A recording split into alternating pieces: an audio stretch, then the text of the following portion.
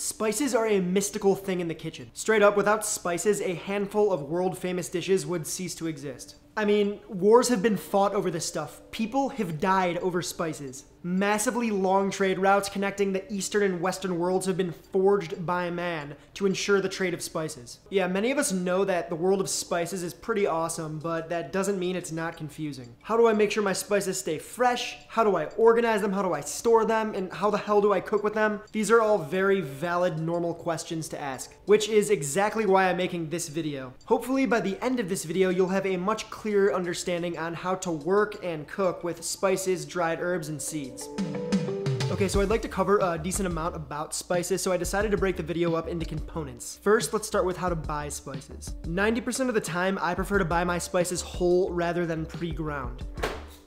So for example, instead of buying ground coriander, I would buy coriander seed, then grind it myself. We'll talk more about that later. So yeah, I know, I get it. Grinding spices from scratch probably sounds like a lot of work, but hear me out. Whole spices keep much longer than the pre-ground ones, and when freshly ground and toasted, emit a much more powerful aroma than almost anything you can buy that's pre-ground. Though there are exceptions to the rule.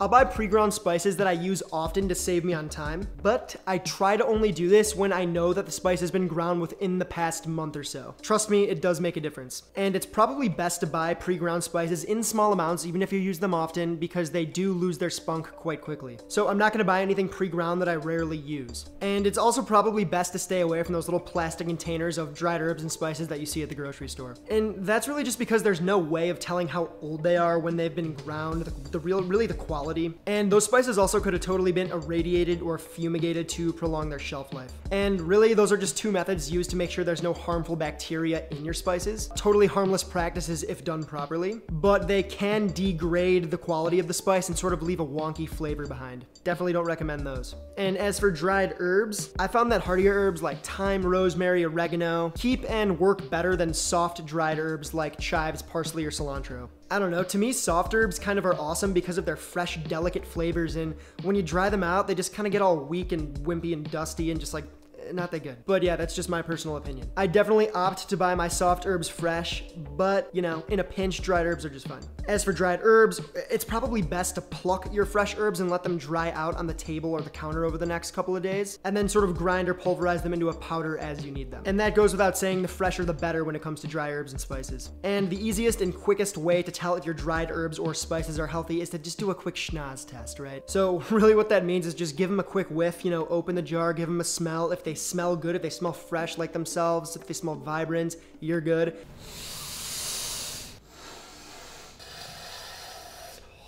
But if they smell old, sort of dusty and sad, you know, definitely toss those. It's probably time to re-up on some fresh stuff. You may or may not have heard of it, but the phrase garbage in, garbage out is very real in the kitchen. If you're serious about cooking and really care about putting out great food, it's definitely in your best interest to source the best ingredients. It's always probably best to buy spices from a trusted source that really cares about what they do which is exactly why I always recommend the Spice House to anyone who's looking for good spices. This video totally is not sponsored by them. Their products are just always top shelf and they've never let me down. And just like you might seek out a good butcher or fishmonger, I definitely encourage you to seek out a solid local spice trader. Oh, and also a few of you have asked me what my favorite spices are. I hate those types of questions, but if I had to bring five spices with me, you know, that classic desert island trope, it would probably be these. And that's not necessarily because I think these spices are better than any of the other ones on my shelf. Really, it's because I believe that these spices create sort of a deep enough bench where I'd really be able to cook a lot of different things with. Okay, so now that you know how to cop primo spices, let's talk about how to store them. If stored improperly, these spices that you spend your precious cheddar on could have their shelf life reduced drastically. Exposure to air makes the spices oxidize and lose quality quicker than if they were protected. So to ensure freshness, make sure you keep your spices, seeds, and dried herbs in an airtight environment or a little jar like this. I love these little mason jars. They are the perfect size and have this little rubber seal that helps trap everything in. That's the little rubber piece that keeps the air out there.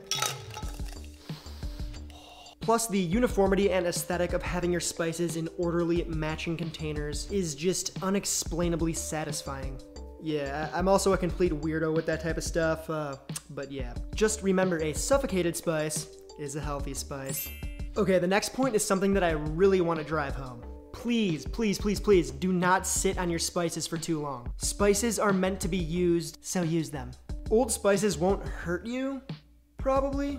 You're probably not gonna go to the ER because your mom sprinkled in some paprika that she got during the first Bush administration, but I also guarantee that if she used fresh paprika, the food would be noticeably better. So use your spices, people. As for organization, I like to use a label maker to keep things spiffy. But again, I'm a freak about this stuff, so if you have a tape and some Sharpie, that works just as fine too, and it's a lot cheaper. And to streamline my spice system, I like to keep likes with likes. This is pretty obvious, but for example, I keep spice blends with one another, I keep chili peppers and powders with one another, you know, warming spices together, you get the idea. And doing that really just helps me know where to look when I'm hunting for a specific ingredient. The spices that I buy a lot of, I do buy in bulk sometimes, and those live in little containers sort of tucked away out of sight, so that I don't lose my mind. And same goes for bulkier items like dried mushrooms or big peppers. I keep those in an airtight environment, out of sight, tucked away in a bin. Also a note to talk about, visibility. It's a really big topic when talking about spices. I do really dig these collapsible shelves here to help keep everything sort of in my line of sight, so I don't forget about anything. You know,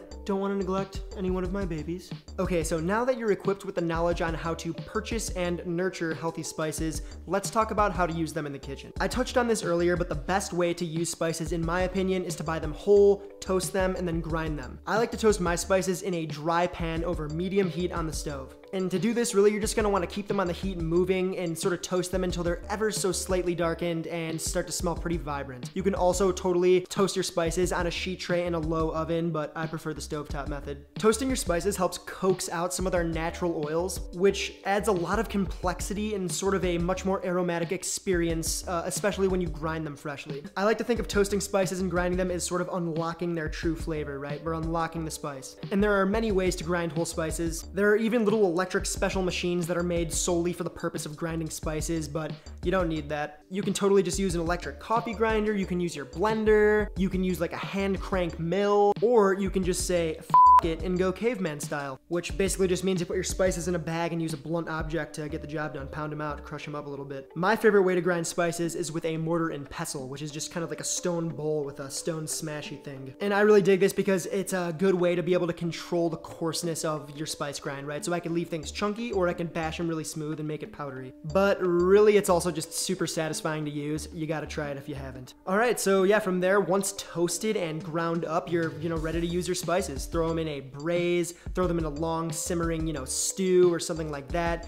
Maybe rub them on some meat that's destined for the smoker or the grill. You know, maybe fold some spices into a sauce, give it some more character. There are literally thousands of ways to use spices in the kitchen. One of my favorite ways to use spices is to add them to my basting butter when I, you know, baste a protein. Spices rubbed directly to a cutlet like a chicken breast or a pork chop can actually burn away. Don't get me wrong, a little char is fantastic and necessary, uh, however, sometimes the heat of the skillet actually burns away the spice completely.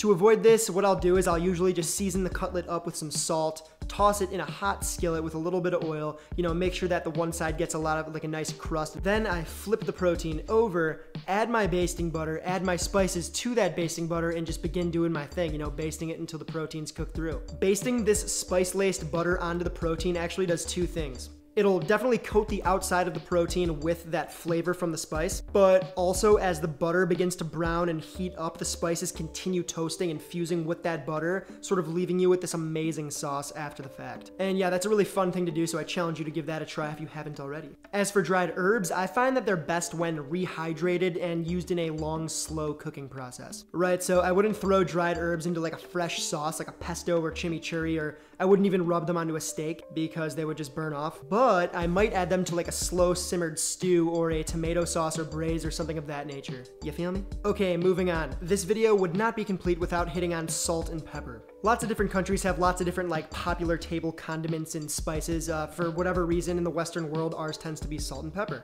Black pepper, that is. First, let's talk about salt. Salts come in many different shapes, sizes, and types, and truth be told, there could definitely be a whole entire video dedicated to this topic. I could talk shop for a long time about salts, but let's keep things straightforward. I use kosher salt for my all-purpose seasoning, and I like to keep my kosher salt in a container that I can reach my fingers into to get a real feel for the actual salt itself. I really do believe that being able to feel and sort of sense and touch and feel the salt is a crucial step in learning how to properly season your food. As far as kosher salt goes, I've used both Morton's and Diamond Crystal. Morton's tends to be a little bit stronger and saltier than Diamond Crystal due to its shape, but that also doesn't make it better or worse. Pick a kosher salt that works for you and get used to seasoning with it. That's really all that matters. You'll totally be fine. Then, of course, there are also finishing salts. Finishing salts tend to be large grain, uh, sometimes flaked salts used to sort of add extra seasoning and texture to a dish once it's been cooked, right, to a finished dish. Hence the name finishing salt. Some popular examples include Maldon's, you've probably definitely seen it. Or in other parts of the world, for example in France, they have Fleur de Sel, which is just a sea salt that's large grain, you know, used to finish dishes for its texture and sort of its minerally flavor. Rarely,